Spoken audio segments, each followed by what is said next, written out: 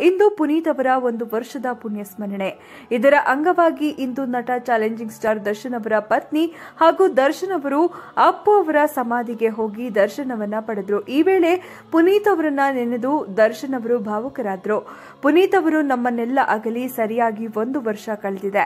ಬೆಂಗಳೂರಿನ ಕಂಠೀರವ ಸ್ಟುಡಿಯೋದಲ್ಲಿ ಅವರ ಒಂದು ವರ್ಷದ ಪುಣ್ಯ ಸ್ಮರಣೆ ನಡೀತಾ ಇತ್ತು. ಮೊನ್ನೆ ರಾತ್ರಿಯಿಂದಲೇ ಸಾಗರೋಪಾದಿಯಲ್ಲಿ ಅವರ ಅಭಿಮಾನಿಗಳು ಸಮಾಧಿ ಸ್ಥಳಕ್ಕೆ ಆಗಮಿಸ್ತಾ ಇದ್ದಾರೆ.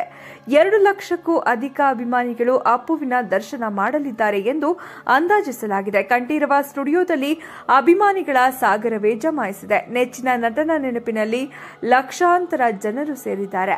ಅವರನ್ನ ನೆನೆದು ಕಣ್ಣೀರು ಹಾಕ್ತಾ ಇದ್ದಾರೆ. ನಮ್ಮನ್ನೆಲ್ಲ ಬಿಟ್ಟು ಯಾಕೆ ಹೋದಿರಿ ಎಂದು ಅಭಿಮಾನಿಗಳು ಮುಕ್ತವಾಗಿ ಹೇಳಿಕೊಂಡು ಕಣ್ಣೀರಿಡುತ್ತಿರುವ ಘಟನೆಗಳು ಕಂಡು ಬರ್ತಾ ಇವೆ. ಅಪ್ಪು ದರ್ಶನಕ್ಕೆ ಬರುವ ಅಭಿಮಾನಿಗಳಿಗೆ ಅನ್ನ ಸಂತರ್ಪಣೆ ವ್ಯವಸ್ಥೆಯನ್ನು ಸಹ ಮಾಡಲಾಗಿದೆ.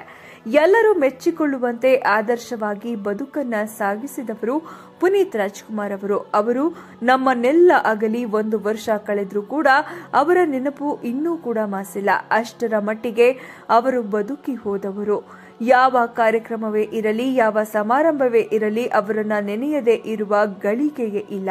ಇದೀಗ ಅವರು ನಮ್ಮನ್ನ ಅಗಲಿ ಒಂದು ವರ್ಷ ಕಳೆದಿದೆ. ಅವರ ಪುಣ್ಯ ಸ್ಮರಣೆ ಕಂಠೀರವ ಸ್ಟುಡಿಯೋದಲ್ಲಿ ನಡೀತಾ ಇದೆ. ಇದರ ಅಂಗವಾಗಿ ಲಕ್ಷಾಂತರ ಅಭಿಮಾನಿಗಳು ಅಪ್ಪು ಅವರ ದರ್ಶನಕ್ಕಾಗಿ ಆಗಮಿಸ್ತಾ ಇದ್ದಾರೆ.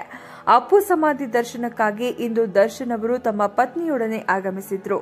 ಇದೇ ವೇಳೆ ಅಪ್ಪು ಅವರನ್ನ ನೆನೆದು ದರ್ಶನ್ ಅವರು ಭಾವುಕರಾಗಿದ್ದಾರೆ. ಅವರೊಂದಿಗಿನ ನೆನಪುಗಳನ್ನ ಮೆಲುಕು ಹಾಕಿದ್ದಾರೆ. ಯಾರು ಏನೇ ಹೇಳಿದ್ರು ನೀವು ನನ್ನ ಮನಸ್ಸಿನಲ್ಲಿ ಸದಾ ಜೀವಂತ.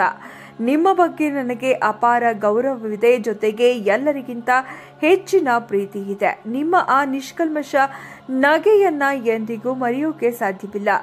ನಮ್ಮ ಮನೆ ಮನಸ್ಸಿನಲ್ಲಿ ಎಂದೆಂದಿಗೂ ಶಾಶ್ವತವಾಗಿರ್ತೀರಿ ಎಂದು ಹೇಳಿ ನಟ ದರ್ಶನ್ ಅವರು ಭಾವುಕರಾಗಿದ್ದಾರೆ.